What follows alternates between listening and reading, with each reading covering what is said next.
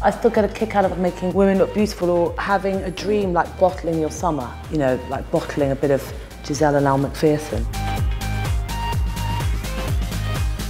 having that come to life in a reality of a product that someone can use in 60 seconds in the wing mirror of their car makes me so excited because I know I'm changing part of people's lives. I can't believe there's really a job that exists like it.